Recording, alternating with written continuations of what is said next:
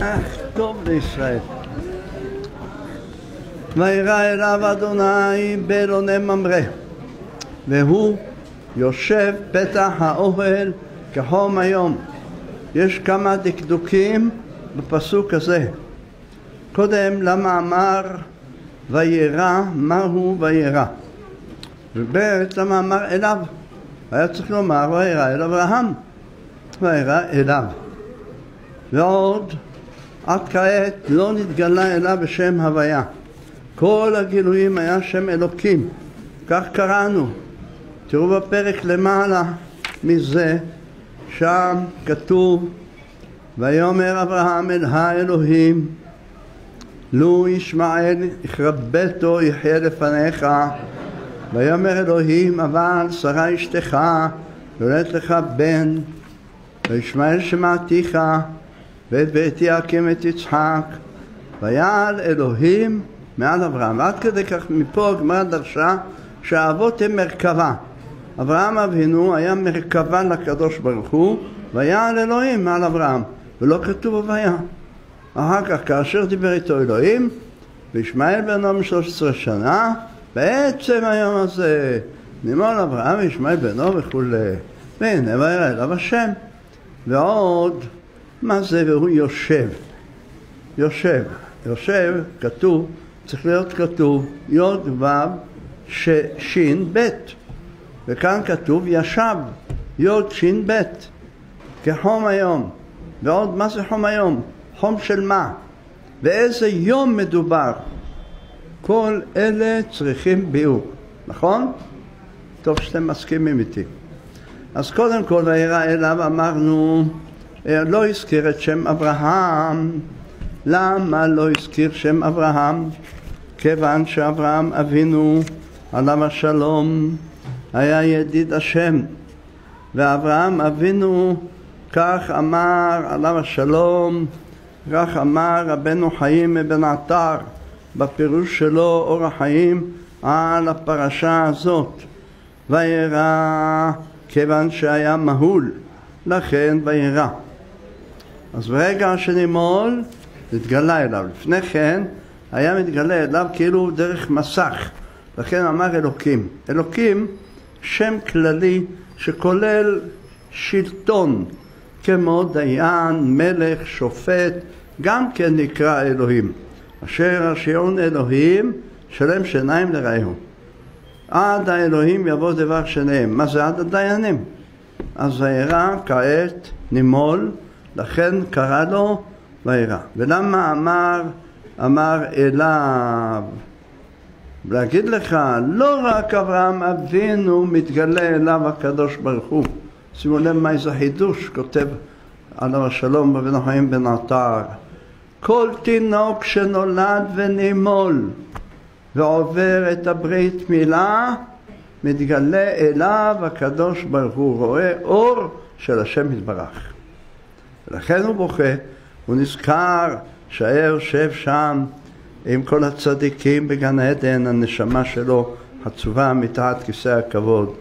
כותב הרב מעבר יבוק, לכן שרים לו בשקט עם הנה נה נה נה נה, והוא שומע, מקשיב, הוא חושב איזה מקם זה, איזה סימפוניה, מאיפה הוא הביא את זה, הוא רוצה לזכור, ויש לו קטלוג בראש של כל המנגינות שהיו.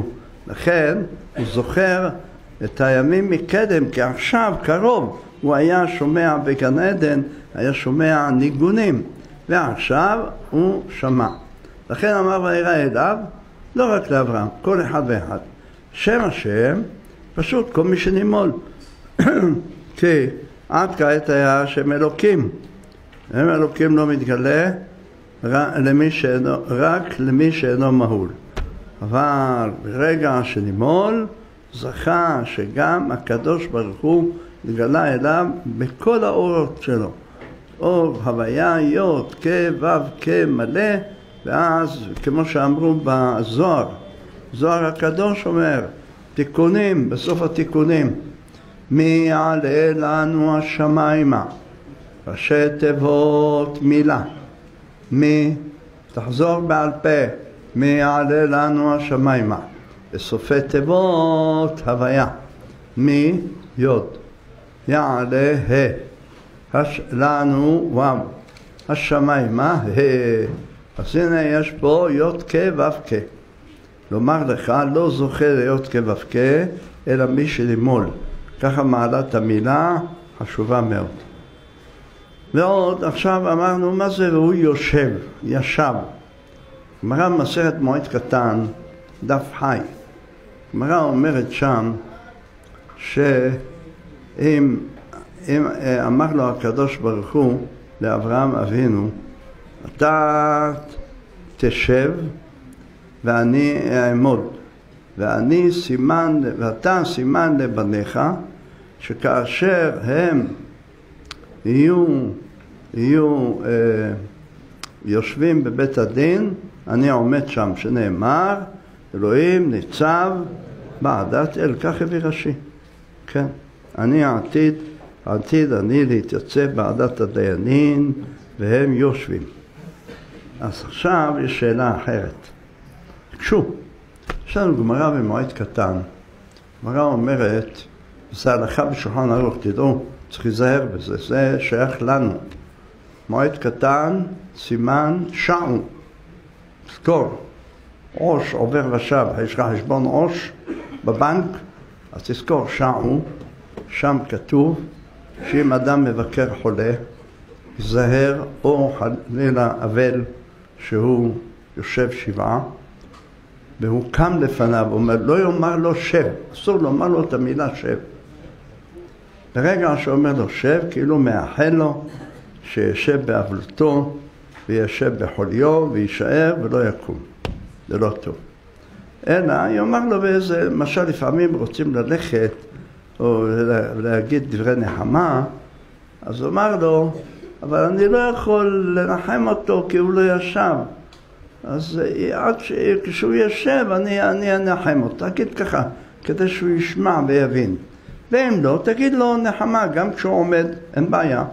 אין שום חיוב לעשות נחמה כשהוא יושב. הראיה, בזמנם, בזמן התלמוד, עד היום האשכנזים נוהגים בזה, לא כולם, עיקר הליטאים, שאחרי הקבורה עושים שורות.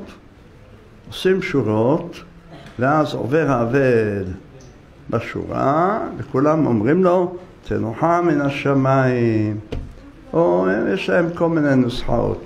המקום ינחם אתכם בשאר, תוך שאר אבלי ציון וירושלים, ולא תוסיפו לדאבה עוד. עכשיו לא כל אחד זוכר את כל המשפטים. תנוחמה מן השמיים, כי כך, כך לשון הברייתא. הברייתא מובא שאם הוא בא לבית האבלים, יאמר לו תנוחם מן השמיים. אז אם כן, אז אסור, אבל אסור לו לומר לשבת. כך נפסק בשולחן ערוך. אז עכשיו קושייה. אברהם אבינו היה זקן בן מאה שנה, 99. 99 פלוס שלושה ימים. והוא היה כעת חולה, כואב לו, זה קשה, ברית בזקנות זה לא קל. אז עכשיו, למה הקדוש ברוך הוא אומר לו יושב? לכן תרצו, שב, אפילו שאני אומר לך שב, לך מותר לי להגיד לך שב, ואין בזה חשש. בשאר העולם יש חשש, לך אין חשש. למה? כי אני אומר לך את זה בתור סימן לדיינים, שהדיינים יהיו יושבים ואני עומד שם. לכן אני רוצה לעשות דוגמה לזה. ולמה אסור? הגמרא מביאה מעשה. היה עליו השלום שמואל, ראש האמוראים, נכון? שמעת עליו.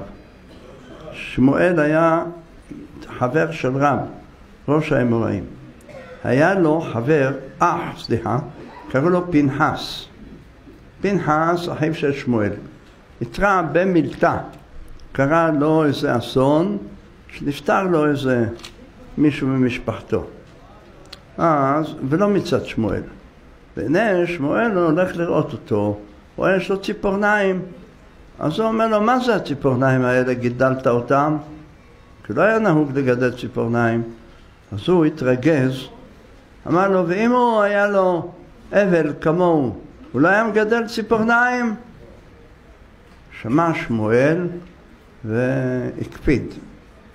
אמרה אומרת, באותו יום קרה גם אסון לשמואל, שגם שמואל ישב באבלות. למה? אבל כשגגה היוצאה מלפני השליט, וגם שמואל ישב באבלות. אותה שעה אמר, ברית כרותה לשפתיים. כך אנחנו עושים התרה. בהתרה אנחנו מכוונים שגם אם הוצאנו כל ביטוי שהוצאנו מפינו שלא כהוגן, אנחנו מבטלים אותו עכשיו. ואז זה מועיל לבטל כל מיני דברי איסור. לכן אדם צריך מאוד מאוד להיזהר כשהוא מדבר.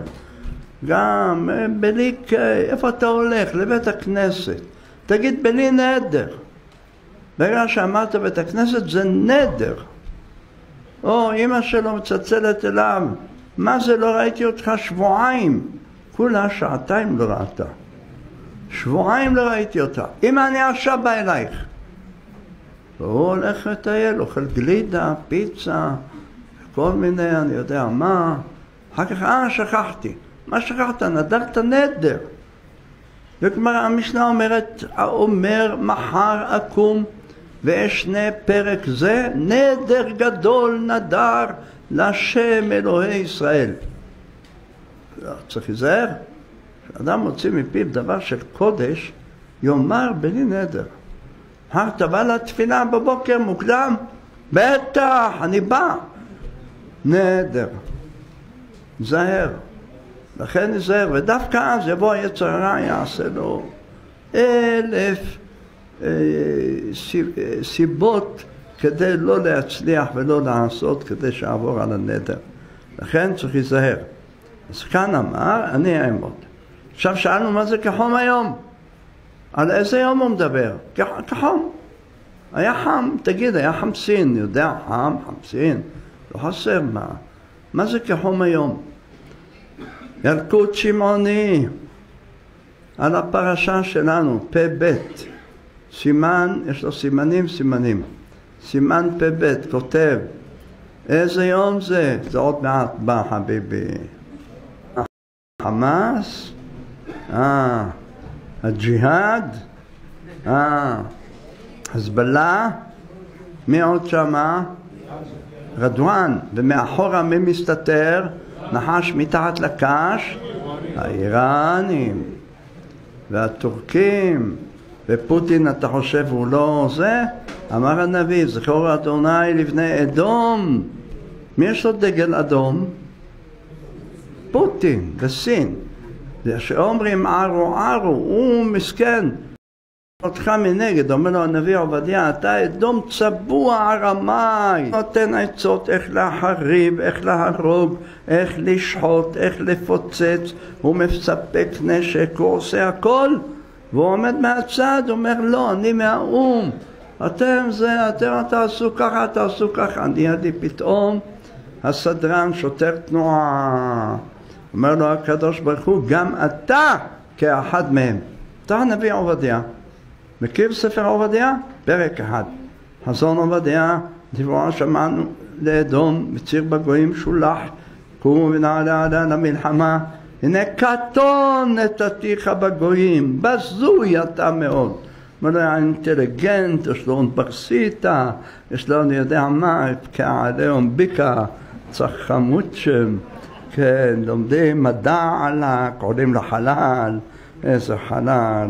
על במותיך חלל, מחש שמם וזכרם.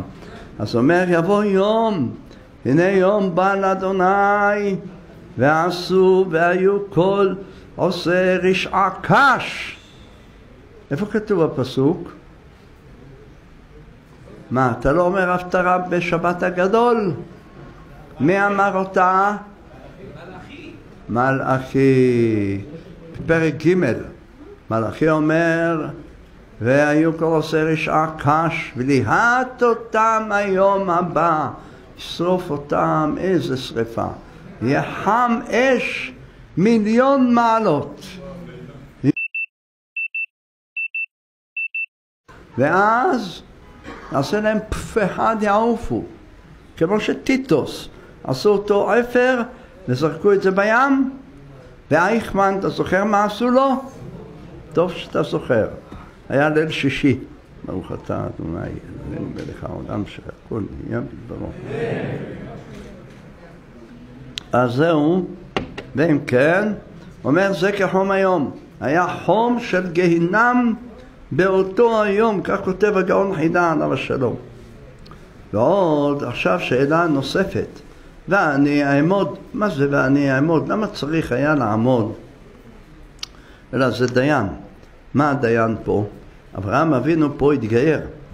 לכן צריך מאוד להיזהר. תדעו, היום יש פרצה נוראה, קורית מדי יום ביומו. אין יום שזה לא קורה. אני אומר לכם את זה באחריות כי פונים אליי. בלי סוף לצערנו נשים הרות מגויים ובכל מיני אופנים. יש דרך הטבע ויש כל מיני דרכים שלא דרך הטבע. והן הרות, הן רוצות לאמץ ילד, מביאות ילד לעולם. ועוד ילד לעולם, והולכות לעשות לו ברית. ויש הרבה מאוד היום מוהלים, חמורים, גמלים, איך שתקרא להם, כל הכינויים בעולם מתאים שם.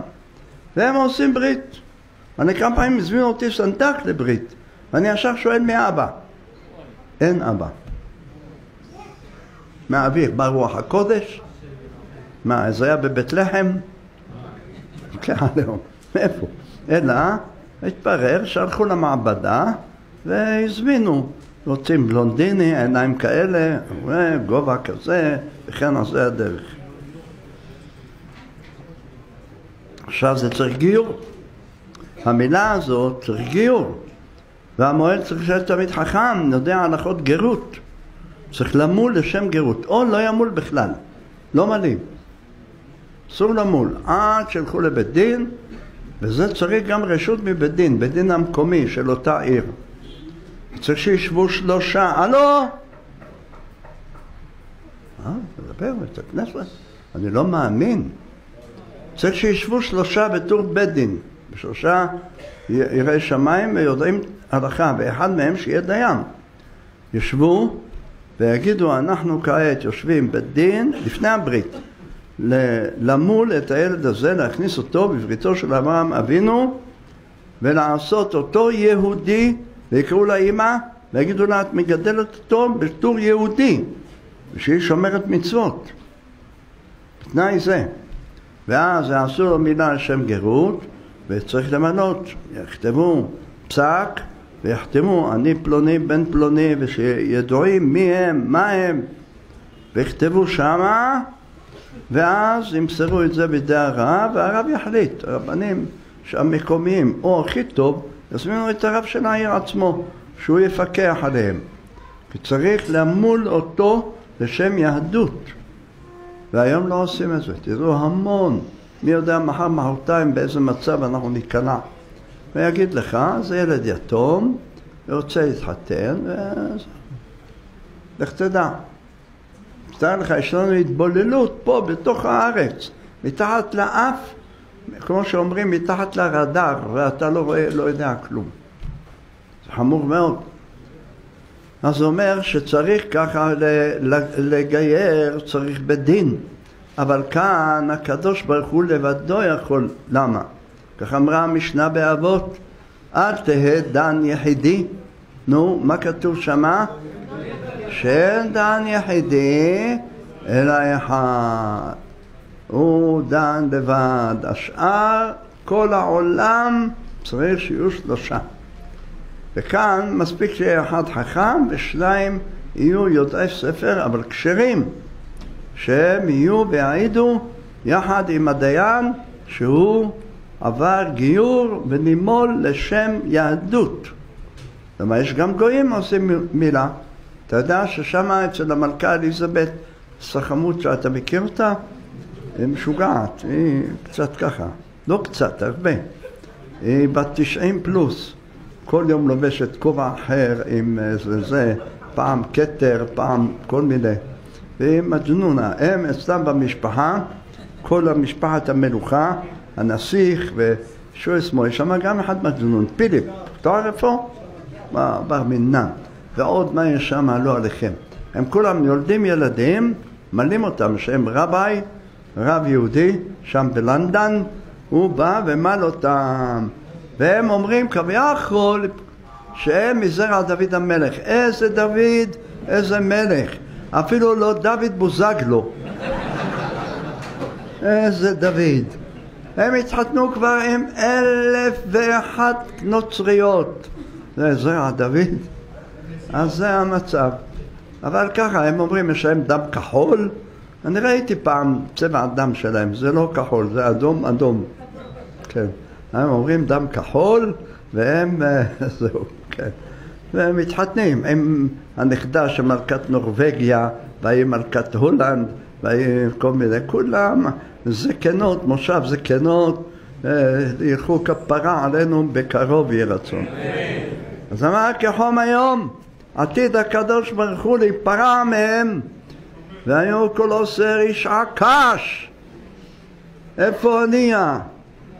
איפה ההוא שמו, שניסו להרוג אותו בירדן, ראש החמאס, זוכר אותו? כן, וכן כולם. ואיפה סינואר? ואיפה השני? הלך למכור מסמרים.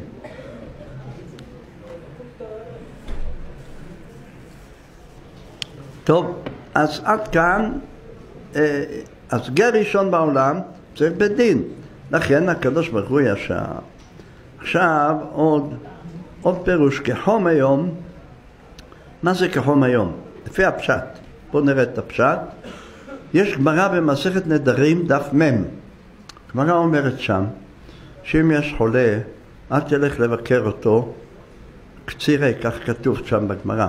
שבא לבקר קצירה, קצירה זה לא עליכם חולה, שהוא מסכן, לא יכול ללכת על הרגליים. אה, לא תבקר אותו לא בתלת שעה קמייתה, ולא בתלת שעה בתרייתא דיומא. זאת אומרת, לא שלוש שעות ראשונות של הבוקר, לא על הסובוך, ולא בשלוש שעות אחרונות של היום. כיוון, למה? מה אומרת? שלוש שעות ראשונות של הבוקר, מרגיש טוב. החולי עזב אותו, בלילה הוא מרגיש מאוד רע. ואז בבוקר הוא קם, מתעורר, בעלות השחר. מתעורר כבר חזק, איתן. אז אם אתה תראה אותו, תגיד, זה לא חולה, זה... הוא היפוכונדר, איך קוראים לזה? הוא עושה את עצמו חולה. כל uh, זה, תזמין אמבולנס, מגיע, אין לו כלום, ועושים לו אק"ג, שולחים אותו הביתה. כל יום צריך לעשות אק"ג. וזה אין לו שום דבר. אז יגידו, זה כלום, אין לו כלום. וימנעו לבקש עליו רחמים. אבל הוא באמת חולה. אבל בשלוש שעות האחרונות של, הלילה, של היום זה גם לא, כי אז מכביד חוליו, הוא הולך ונהיה יותר ח... גרוע, ואז רואים אותו במצב רע, ועד שזה שרואה אותו נחלש ואומר אין מה לבקש עליו, זה הולך למות כבר. עד מחר, אני לא יודע אם מחזיק עד מחר. אז יתייאש מן הרחמים ולא יבקש עליו רחמים. אלא בצ... באמצע היום. באמצע היום, אז הוא באמצע, הוא אז במצב הנורמלי של החולי שלו. ואז אתה רואה אותו בדיוק, ואתה יכול לדעת מה מצבו, ואז לבקש עליו רחמים. אומר, לכן כאן ביקר אותו הקדוש ברוך הוא כחום היום ללמד אותנו מתי מבקרים חולה. מבקרים חולה אחרי, בוא נגיד, בין עשר בבוקר להיום לשלוש אחר הצהריים. אז אתה יכול לבקר אותו, אתה יכול לעמוד על טיב החולי שלו ועל המצב הרפואי שלו, ואז תבקש עליו רחמים. ולא יהיה לא בוקר ולא ערב. אז זה נקרא כחום היום. השעות שהטמפרטורות יותר גבוהות. אחר כך וישא עיניו, וירא והנה שלושה אנשים ניצבים עליו. בן חיים בן עטר כותב שתי מקומות כתוב אצל אברהם אבינו וישא עיניו. מה? אברהם אבינו לא היה מסתכל, תדעו, הוא לא היה מסתכל מחוץ לארבע אמותיו, כמו שמובא בגמרא על רב, לא היה מסתכל חוץ לארבע אמותיו, היה הולך, מסתכל בעפר, לכן אמר ואנוכי עפר ואפר. למה? היה מסתכל על האדמה, לומר מה אני מחיי, מחר ישימו אותו באדמה, חוץ מכם. ואז מה הוא שווה? תן אה, אה, קבור, ראיתי רשעים מקרה אחד לרשע ולצדיק. שניהם קבורים אותם בית הקברות, ולא ידוע, אנחנו לא יודעים מי רשע מי צדיקה, כי הוא יודע. אבל אה, אדמה. אבל פעמיים ראינו, והפעמיים האלה מופיעים בפרשה הזאת. אחד בתחילתה, השני בסופה. אחד בתחילתה, וישא עיניו היער, והנה שלושה אנשים. ומי אלה היו? שלושה מלאכים. מיכאל, גבריאל ורפאל. וואו וואו וואו. הלוואי יבואו לכאן. אולי הם פה ואנחנו לא רואים אותם. אני בכל אופן לא רואה, אולי אתם רואים. אז תארו לכם, מיכאל, רפאל, גבריאל, שלושתם הגיעו. אבל סוף הפרשה, הוא רואה את הקדוש ברוך הוא בכבודו ובעצמו. מה כתוב? וישא ביום השלישי, וישא אברהם את עיניו, וירא את המקום מרחוק. זה רמוז במילה המקום. המקום, פשט, זה מקום הר המוריה, אבל המקום, כמו ברוך המקום ברוך הוא. ראה את הקדוש ברוך הוא. ואז, ויאמר, הנה הוא לקח אותם לאותו כיוון. כמו המעשה, אתה יודע, המעשה עם רבי אברהם עדס, זכר צדיק לברכה, עליו השלום, עליו השלום, עליו השלום. היה קודש קודשים. רבי עזרא עטיה, אני זוכר שהוא היה מזכיר אותו, אז היה בוכה והיה אומר לנו, תדעו, שארבע שנים אחרי שהוא נפטר, כל פעם שמישהו היה מזכיר את שמו, הייתי פורץ בבכי. ארבע שנים. החמידה צדקה עליו השלום, בהלוויה, אחר כך בהספד של רבי עזרא עטיה, רצה לתאר מי היה רבי עזרא עטיה, איזה נפש עדינה הייתה לו. אמר שאני זוכר כל הזמן, ארבע שנים אחרי זה עבר, אפילו חמש, תמיד כשהיה נזכר מרבי אברהם עדס בוכה, אני שואל לו, אתה בוכה? הוא נזכר מרבי אברהם עדס שאיננו. היה חסיד קדוש, כולו דבק בשם יתברך, בעל רוח הקודש באופן פלאי, רגע רגע, בלי סוף היה ידוע. אז הוא היה עליו השלום, הגיע מחלה בגיל שלושים עם שניים מתלמידיו, היה אחד חכם יצחק שרם והרב אחד חכם משה טוויל, לא חכם משה טוויל הידוע, היה אחר. והוא נסע, נסע איתם, יצאו הלכו ברגל מסכנים. חצי הדרך ברגל, חלק הדרך גמלים, חמורים, סוסים, כל מיני, העיקר לבוא לארץ ישראל. מה הסיבה הייתה? רבי יוסף חיים כותב ברב פעלים, סוד ישרים, כיוון שהם רצו לכוון כוונות הרשש, ואין ראוי לכוון כוונות הרשש בארץ העמים משום הטומאה, שם טומאת ארץ העמים. אבל פה בארץ ישראל שהאווירה קדוש והיא קדושה, אז האוויר שלה זך.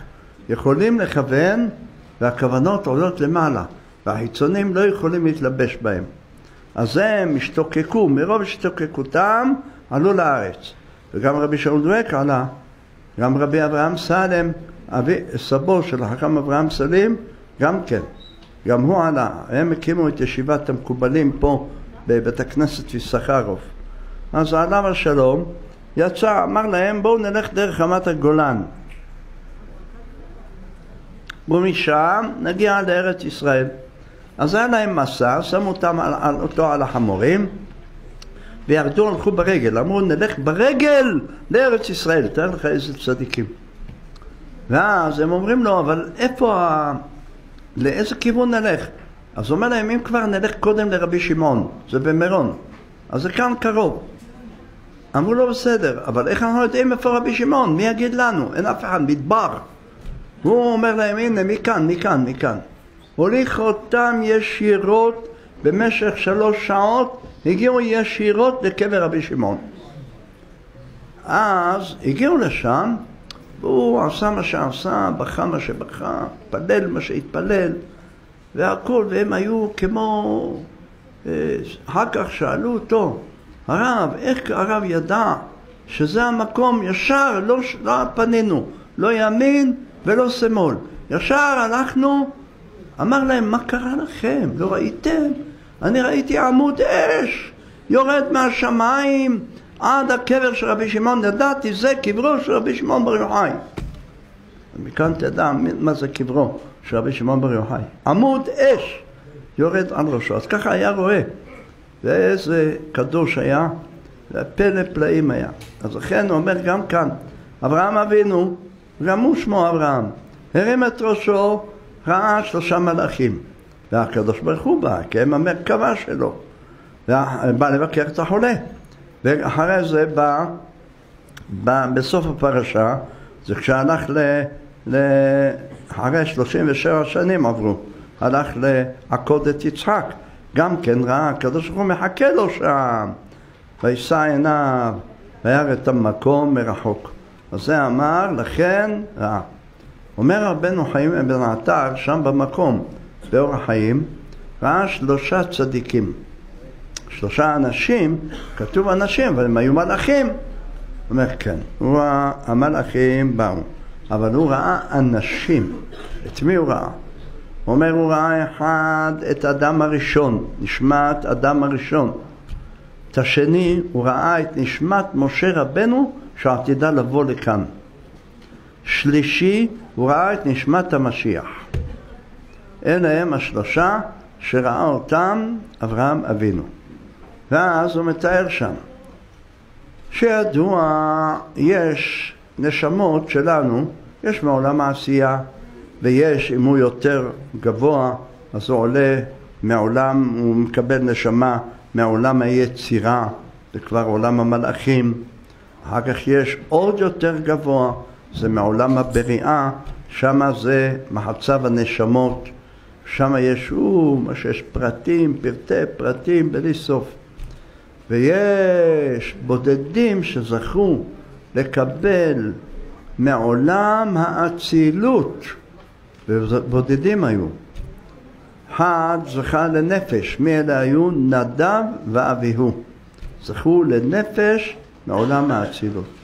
אחרי זה נפטרו בעוונות הרבים, נשרפו חיים, וזכה בהם אליהו הנביא. לכן אנחנו מזכירים אותו כל מוצאי שבת, שהוא זכה בנפשם של נדב ואביהו. אחרי זה זה נפש. ורוח מי זכה? אומר זכה חנוך. קראנו בפרשת בראשית, ואיננו צדיק, בשעה שיצא למלוך על מצרים, באותה לילה.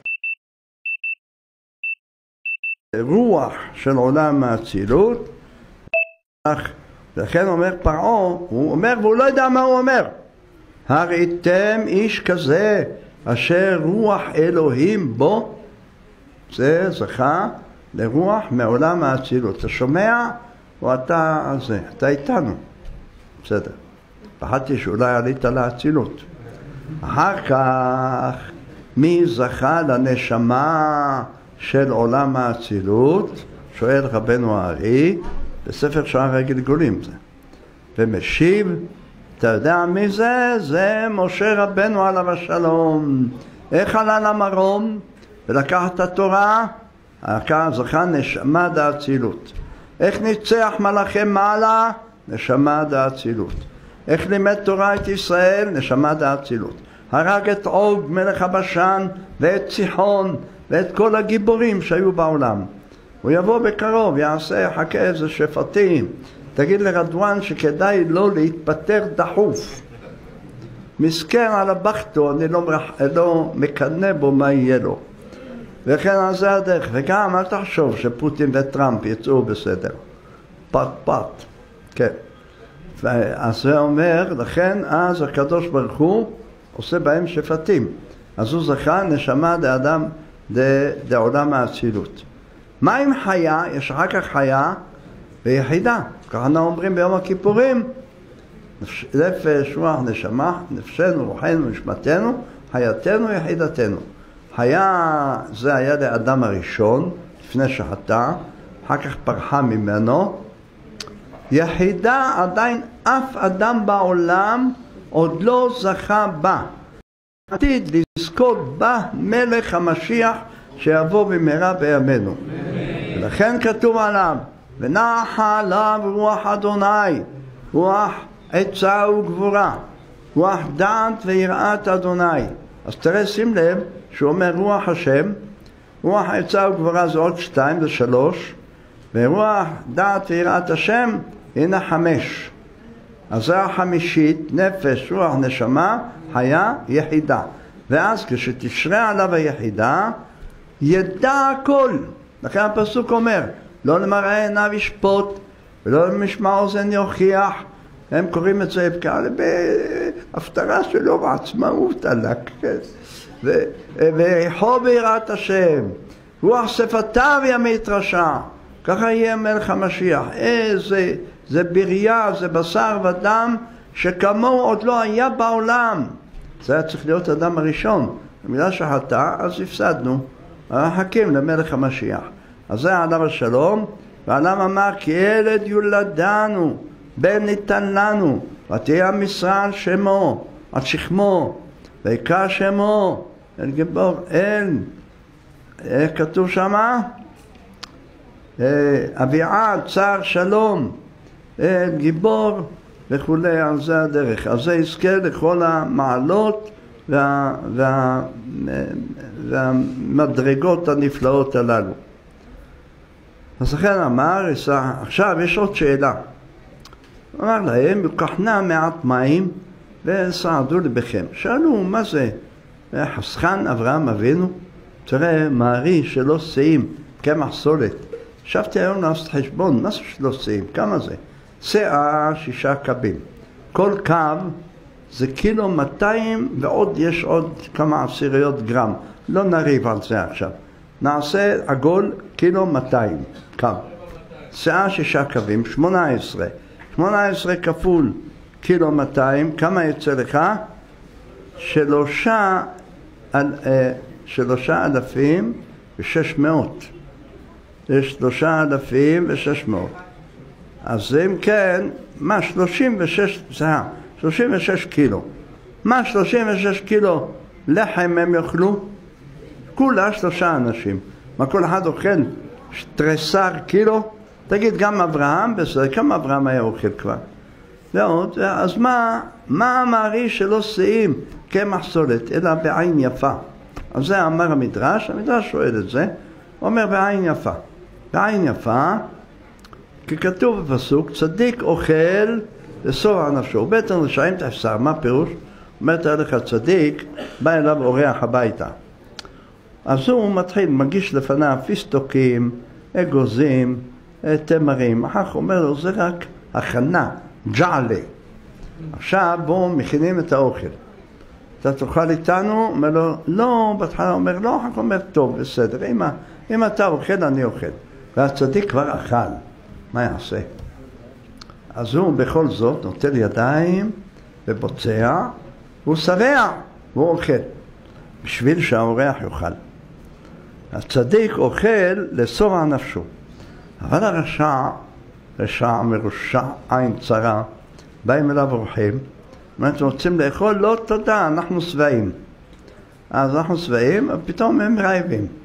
מביא אוכל, שם. עכשיו, הם לא נעים להם, הם אנשים אה, אינטליגנטים. רוצים שבעל הבית יאכל, הוא לא אוכל, רשע, הוא רעב. הוא מתפוצץ, הריח של האוכל נכנס לתוך החותם. וואו, הוא משתגע. אבל הוא אומר, מה, אם אני אוכל עכשיו, יחסו לי את כל האוכל הזה. לא חבל, אני אשמור אותו במקרר, אני אקפיא אותו, אשקול אותו מחר, אוכל אותו מחרתיים. אז הוא לא רוצה לאכול. אז בטן רשעים, תעשה, גם הם לא אוכלים, אז הוא נשאר רעב. אבל אברהם אבינו היה יפה עיניים, עין יפה יש לו. הוא אומר להם, תביאו הרבה, אה, זה. אבל עכשיו, למה מעט מים? אז הפשט אמרו, מי שרעב ושותה מים, התיאבון הולך. גם למה? כי בקיבה יש מיצים של הקיבה, שהיא באה ל... כן, הוא מגרה אותו קודם עם האוכל, עם כל מיני דברים, הוא רואה את זה, אז הוא להתגרות.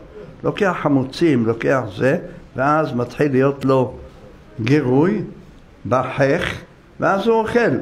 אבל אם ישתה מים, הלך הכל. לכן מעט מים. אבל הרב חידה לא הספיק לו התירוץ הזה. הרב חידה אומר, הוא מדבר בכלל על לימוד תורה. נותן לנו מוסר אברהם אבינו. אומר, תיקח מעט מים מה זה מעט מים? מים זה סמל הענווה. כמו שהגמרא אמרה, מה מים עוזבים? למה נמשלה תורה למים? שנאמר, הוי כל צמא לכו למים. מה מים עוזבים מקום גבוה ויורדים למקום נמוך? כך התורה, היא לא יכולה, לא תימצא, לא בגבוהים, לא בגאוותנים ולא ביהרנים. כמו שאמרנו, לא בשמיים היא, בשעוז השמיים, ולא מעבר לים, סוחרים, תגרנים, מדברים איתך כל היום על כסף והייטק, לא, אין להם תורה. התורה נמצאת אצל עניים, אנשים פשוטים, אנשים שהם יושבים ברגלי תלמידי חכמים ומתאבק בעפר רגליהם, דווקא אצלם נמצאת התורה. הווי זהיר בבני עניים, הדלים, זן מים מדל הים. אז אומר, זהו, קח נא מעט מים. מים זה מים מ' בהתחלה, מ' בסוף. שמים בהתחלה, מה זה? רמז שהוא אדם שפל. אבל יש שפל כלפי חוץ. הוא עושה ענווה, לא חס ושלום, עפר ואפר, אני חלילה וחס. והוא בליבו אומר, מי הוא בכלל? מה הוא מקשקש לי? אני אראה לו, אני אוכיח לו. אני זה, אני, אני, אני, אני. אבל יש ענב באמת בפנים, גם בפנים. משבחים אותו, אומר, הוא אומר בפה מלא, אני לא מגיע לי כל השבחים האלה, זה לא אני. אז הוא לא מסכים שישבחו אותו. אז זה מים מבפנים, מם מבפנים, מם מבחוץ. ענווה שיהיה לו בפנים, ענווה שיהיה לו בחוץ. וזה הגמרא בתענית, כ"ז. הגמרא אומרת שם, שאשרי מי שהוא ענב, ואז זוכה לתורה ולענבים ייתן חן. אז זוכה שלומד את התורה הקדושה. אחר כך, מה אמר להם אברהם אבינו? וישענו תחת העץ. מה העניין של העץ הזה? אז הפשט, כאילו הם באו עייפים מהרחוב, וגם רש"י אמר שהוא חשד בהם בהתחלה, הוא לא ידע מי הם, אחד נבטי, אחד מדברי, אחד היה מלאך ימי, והם היו משתחווים לעפר שבאבק רגליהם, למה? איך עברו את המדבר הזה, כולו חול ובוץ, אתה יודע מה זה? למה במדבר, ידוע, הולכי המדבריות, יורד עליהם גשם. שמה זה גשם טרופי, לא קר, ופתאום באים עננים, יורד גשם. ואז הכל נהיה בוץ, אתה לא יכול ללכת. מה שהיית הולך בדקה, ב, ב, נאמר בעשר דקות, עכשיו זה עשר שעות לוקח לך. כי הכל נהיה בוץ, הרגליים נכנסות לתוך הבוץ. ויש משוגעים עד היום, תדע. נוסעים לאפריקה, זמביה, זימבבואה, קונגו, רואים שם אריות, רואים קופים. היה אחד משוגעים, הלכו אמריקאים לשם לטייל. בא קוף שימפנזה אחד, היה רעב. הייתה אישה, בידה היה תינוקת, חטף לה אותו ואכל אותו לעיניה. חיים בלעו. טוב שאכל אותו ולא, אותה ולא את האימא גם, אותו ואת בנו. אז הולכים לשם האלה, אז מגיעים בשלום, משתחווים לאבק שברגליהם. כאילו האבק הזה, זה עבודה זרה, משתחווים לו, מנשקים אותו, לכן אמר להם והשארנו תחת העץ. אבל זוהר לא כך אמר. הזוהר אמר שם בפרשת חיי שרה, לאברהם אבינו היו לו שני סימנים. היה לו עץ, אילן, והיה לו גם באר מים מתחת לעץ, מעיין. כל מי שהיה בא, היה מושיב אותו שם. היה ספסלים בגן, מושיב אותו שם. ואז רואה, אם העץ היה נשאר אותו דבר, פורסים פורס את ענפיו רגיל, אז זה סימן שהאיש הזה צדיק. ומסתכל במעיין, המעיין נובע, ממשיך לזרום כרגיל, אין לא תגבורת מים ולא חסרון מים, סימן שהאיש הזה טהור. אבל אם היה רואה פתאום הענפים כולם מתקפלים וזקופים, עומדים ככה כמו לולב, היה יודע זה רשע, עובד עבודה זרה, והאילן לא רוצה לסכך עליו. יושב, נותן לו מוסר, השכל וכדומה, ועוד ועוד ועוד ועוד, עד שהיה בליבו מטהר אותו לחלוטין, עושה לו ניתוח לב ומנקה לו את הלב, הכל, מכל חטאותיכם אטהר אתכם, אז היה רואה האילן חוזר, חוזר, חזרה, מסכך עליו, בסדר. עכשיו אומר לו, תטבול במקווה, המים היו מתחילים לעלות, אבל מעטים. אז היה יורד לטבול, יוצא משם טהור, ואז מכניס אותו לבית. לא היה מכניס לבית, לאוהל, רק מי שבדק אותו באילן וגם במעיין. עכשיו, מי שהיה בינוני, חצי חצי, האילן היה קצת מרים את ענפיו, והמים היו חסרים מעט, אבל ישנם, כי אצל רשע זה היה נגוב לגמרי, אין מים, נעלמים המים. ואז היה יודע אברהם אבינו לפי זה כמה הוא צריך לעבוד עם הבן אדם כדי להחזיר אותו בתשובה, ואחר כך יכניס אותו לביתו. היה בסלוניקי, אתם יודעים איפה זה סלוניקי? זה על שפת הים, זה עיר נמל. עיר נמל, היום היא בתחום יוון. היא הייתה כולה, כל יוון היה טורקיה, טורקיה הרשעים, הם אכזרים. כבשו את כל ארצות הבלקן, בולגריה וכולי, כל אלה שנמצאים, יוגוסלביה, כל אלה המדינות שרבו ביניהם עכשיו נהיו עצמאיות כביכול. כולם היו תחת ממשלת טורקיה וגם פה המזרח התיכון. כל המזרח התיכון, הטורקים היו פה יושבים. אז הם, אבל היה הבדלים ב, ב, ב, ביהודים, הקהילות היהודיות, יש הבדלים ביניהם עד היום. יש הבדל בין יהודי סלוניקי, הם אה, צדיקים מיוחדים, היו זה, כולם צדיקים. לכן אותו דבר יש בטורקיה, יש כמה ערים. יש יהודי איסטנבול, הם כך וכך, יותר סוחרים, מתעסקים במסחר. היום בעוונותינו לא נשאר שם אפילו מניין שומרי שבת, בעוונות הרבים. אבל העיר איזמיר, מאז ומתמיד, ועד היום, יש שם צדיקים. שם היה רבי אליהו איתמרי מאזמיר, בעל שבט מוסר, חיבר שישים ספר. אמרתי לכם על התורה לבד, יש לו שבעה חיבורים על התורה. שבעה חיבורים. ויש, אה, היה שם באזמיר את בעל הכנסת הגדולה, רבנו חיים בן בנישתי, היה חותם חביב.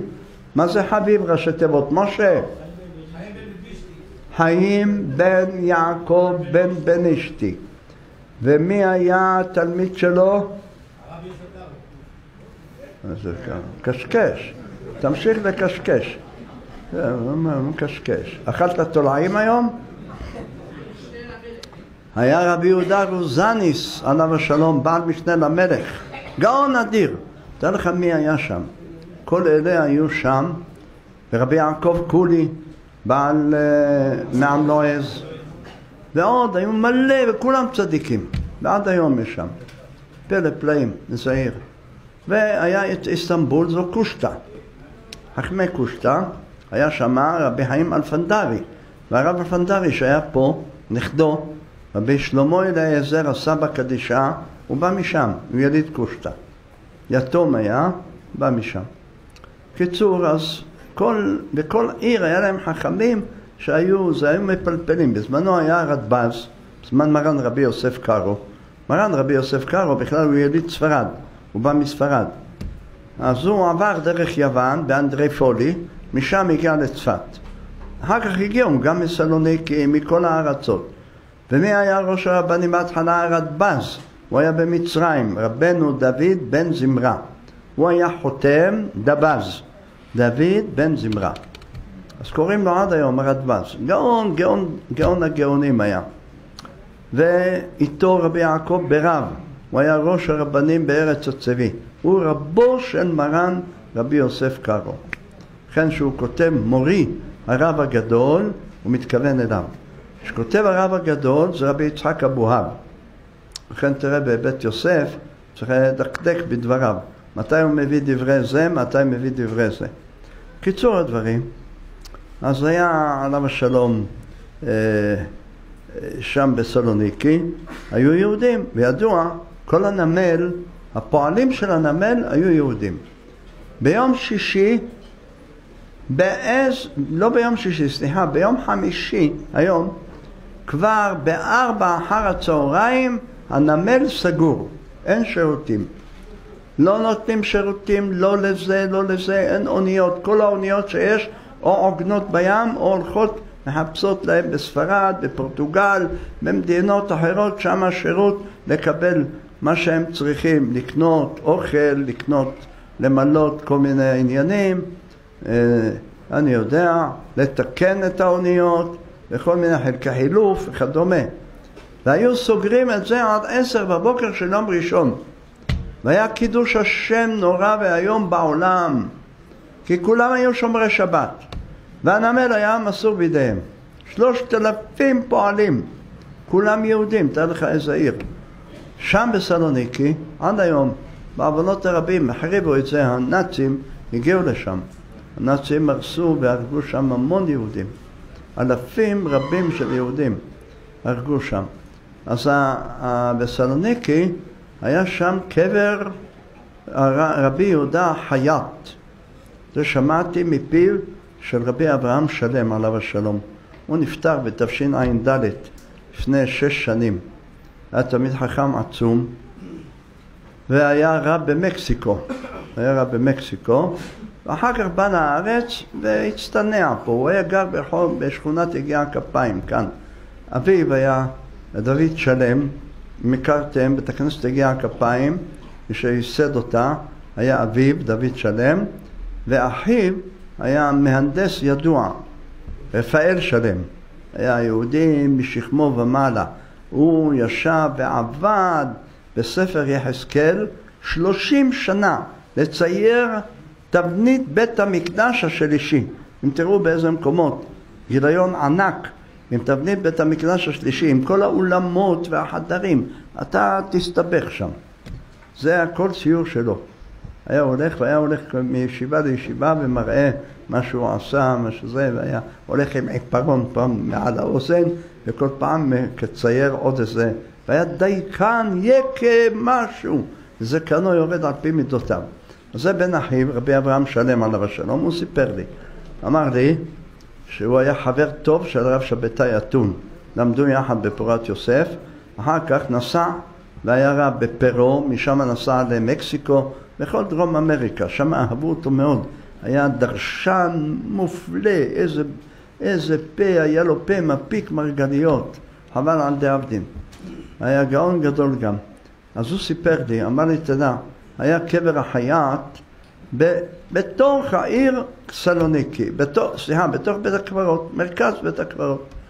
ושם היו באים אנשים ממרחקים, נודרים בשביל רבי יהודה חייט. אתה תראה שכל המקובלים הראשונים שהיו לפני רבנו הארי ופירשו את הזוהר, מביאים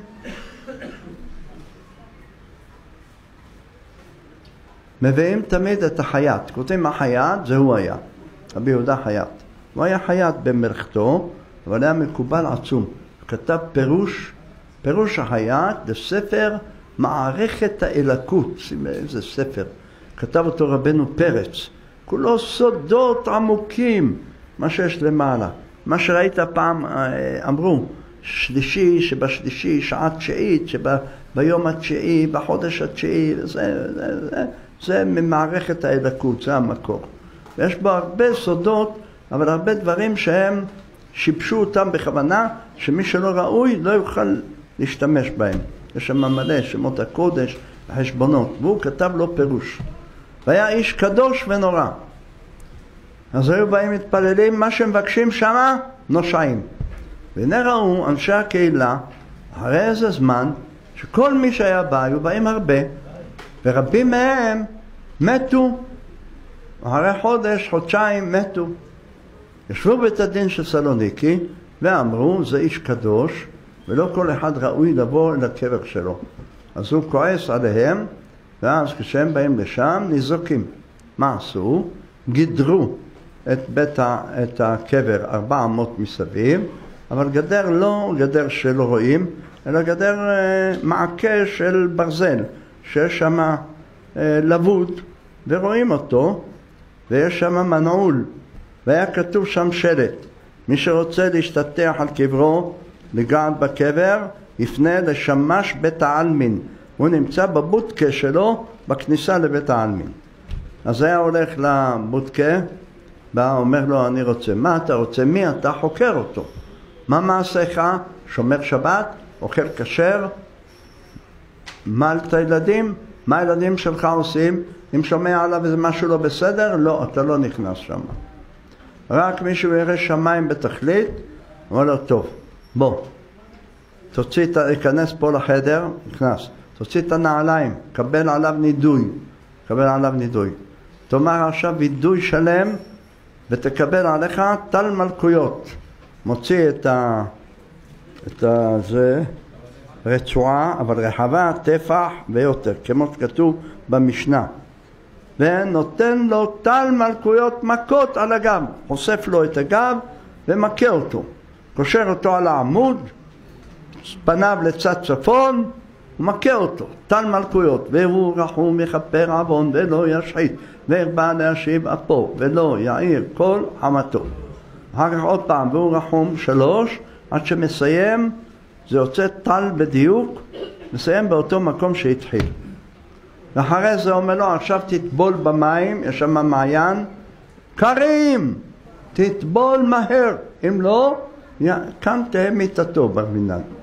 כה טובל, יוצא משם, מתנגב, מחליף הבגדים, אומר לו עכשיו תיכנס לרבע שעה לקבר, פותח לו את המנעול, תשב, תפלל, ואז מבקש מה שמבקש, בוכה, כבר נהיה בריאה חדשה, מאה יום הכיפורים עבר עליו עכשיו.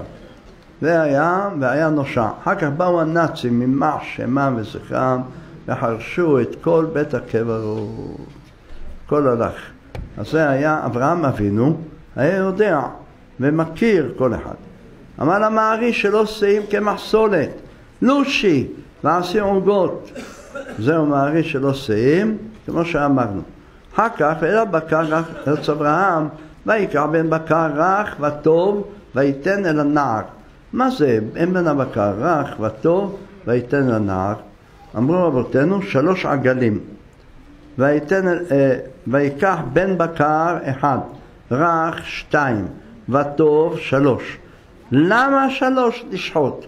זה המון, כל עגל שוקל ארבע מאות קילו. זה היום, אז מי יודע כמה היה שוקל.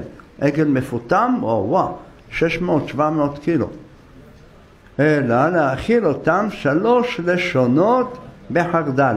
שלהוציא את הלשון והיה במקום, מנקה אותו וזה, צולל להם את זה, שם אותם עם חרדל, נותן להם לאכול, זה מאכל מעדן, תוצרת אברהם אבינו, תאר לך מי שהיה אוכל מזה, מה היה מכיש.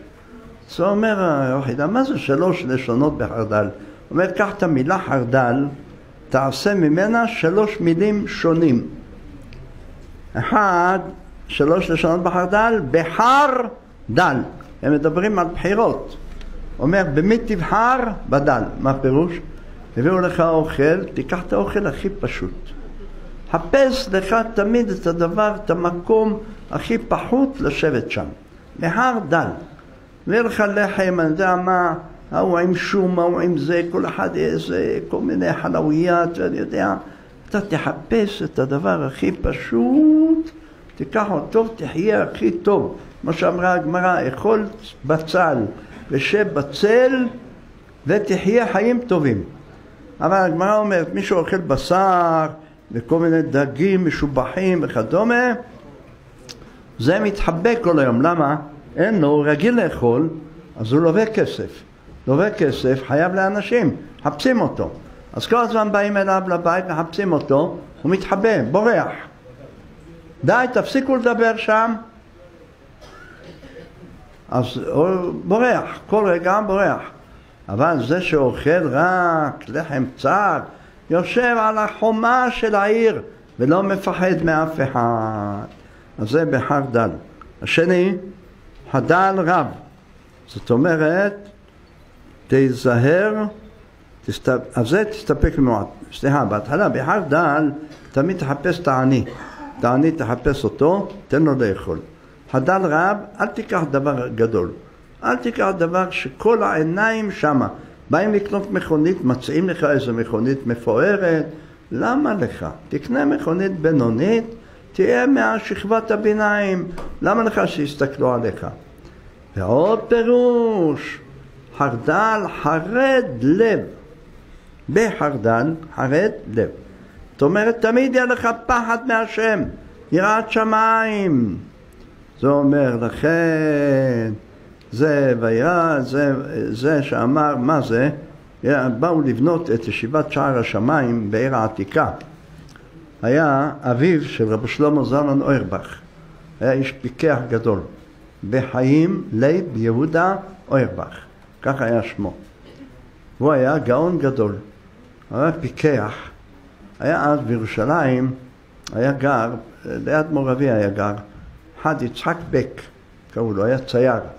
כל החנויות בשכונת גאולה, מהשערים, במחנה יהודה, היה מצייר להם שלטים. והשלט היה מדבר מה יש בחנות. היה חנות חמוצים במחנה יהודה, אני חושב שעד היום נמצאת, לא? בשוק הצר. אז הוא צייר ציור. אתה רואה ממש, עכשיו ביום שבת הם סוגרים את החנות, אתה רואה חושב החנות פתוחה. אתה רואה, הנה המוכר, וזה עם הסינר, והוא מכניס את הזיתים בפנים, ואת ההוא. צייר פעם, היה חנות בגאולה של אה, סריגה. יואל, סריגה, סורגים. אז הוא צייר ממש צמר ו- וסוודרים וכל מיני כלים. יום אחד עבר בן אדם, אמר, מה זה? השאיר את החנות פתוחה, לא מפחד, ערבים יבואו יקנבו. אמרו לו, לא, זה ציור. והיה הולך לסטיבלקים הגדולים, כמו במאה שערים, זכרון משה, מצייר שם על התקרה, שלא יפריע לתפילה, אבל הביא אז כנמר, צד אחד נמר, אתה רואה נמר, וואו, אומר את הנמר יבוא לטרוף אותו, אוי ואבוי. וממש, עם כל השיער, והכל. ואחר כך בצד השני, קל כנשר, היית רואה נשר ממש אמיתי. ושמה ורץ כצבי. אתה רואה צבי, הנה הצבי כעת יברח. וגיבור כארי, הנה הארי כעת יצא אוי ואבוי, איזה ארי. אז היה מצייר אותם, את כולם. זה הלך אליו רבנו אה, הרב אוירבך, אמר לו, תשמע, תעשה לי טובה. אני נוסע פעם ראשונה לאמריקה כדי שיתרמו כסף לישיבה. מה אני עושה? אני עלה לי ברעיון, בלילה, שהלכתי לישון, עלה לי רעיון לעשות מפה של גן עדן. ואני אמכור שמה באמריקה מושבים בגן עדן. אבל תעשה לי חמשת אלפים מקומות. ובמרכז אני מבקש, שים שם את אברהם, יצחק, יעקב, תשים שם גם את אה, כל שבעה כורתי ברית, אה, משה ואהרון, יוסף ודוד, שלמה המלך ועוד, אמרנו כל הדמויות התנ"כיות, שמואל הנביא וכן על זה הדרך. אחר כך תעבור לאגף של הנביאים, כל הנביאים. והיה מצייר שמה וכותב על כל כיסא מי יושב עליו. וכן אחרי זה כיסאות של התנאים. רבי טרפון, רבי יוסי הגלילי, רבי שמעון בר יוחאי ועוד ועוד ועוד. ולקיית כל אחד משאיר איזה עשר מקומות פנויים. יענו זה למכירה, מי יהיה שכן של רבי שמעון. וכן על זה הדרך. כך אמוראים וכדומה. עשה אגף נשים גם כן. כל הנשים צדקניות שהיו נביאות שהיו לישראל, מותינו הקדשות וכדומה. לקח את זה, קיפל הכל, גלגל את זה, איזה, עשה איזה קרטון אחד ככה עבה, וכולו צבעוני, יפה, מושך את העין, נסע באונייה לאמריקה שלושה חודשים. נחת שם, אמר להם אני מוכר, עושים דינר, אני מוכר מקומות בגן עדן. אלה מה, לא מבינים כלום בחייהם, רובם היו מחללי שבת, לא היו זה. פתח את זה, תלה את זה בקיר, התחיל להגיד להם, הנה פה יושב, תראו בגן עדן אברהם אבינו. אברהם, אברהם. This Albert, אומר לו השני. Yes, yes, oh, oh. וואו, והוא אומר יצחק אבינו, והנה זה, והנה כך, והנה כך. עכשיו הוא היה רואה, עוקב אחריהם. אומר להם, כל כיסא עולה אלף דולר. אלף דולר זה היה המון כסף. אלף דולר. טוב, כיסא באלף דולר לא פחות. אז היה רואה איזה כמה גבירים ואומרים לו, תדע, זה אלה כבדים מאוד בכסף, בזהב, בבקנה, יש להם חשבונות עם מלא אפסים בבנק. אז זה היה בא, רוצה קבר, יוצא קבר מקום בגן עדן ליד, רוצה ישעיה הנביא. הוא חסיד של ישעיה, גם קוראים לו שי, שייקה. ואיזה שייקה? סטפן קוראים לו. אז הוא אומר, אני רוצה ליד ישעיה. הוא אומר, no, this 15, זה חמשת אלפים דולר עולה, לא פחות. תתווכח איתו, טוב, נגמור, בוא נגמור, מוכר את זה. וככה מכר מקומות על הטול. ואחרי זה חזר לפה והביא אותם, והיה שמח והקים את הישיבה, ישיבת שער השמיים, לומדים קבלה, ואחרי זה אה, היה מה שהיה. אז זה אומר, ולבקר רץ אברהם, אברהם אבינו היה זקן בן מאה והיה חולה, אבל האישיות שלו היה חזרן במצוות, אפילו שהיה זקן היה רץ. תראה ככה היה רבי חיים פלאצ'י, עליו השלום.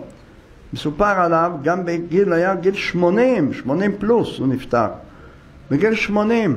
והמלך כל כך אהב אותו, נתן לו שלושים ושש שוטרים שיהיו שרים למרותו. והיה להם מדים מיוחדים, מסומנים, אלה חיילים והם אנשי הצבא שייכים לרב היהודים.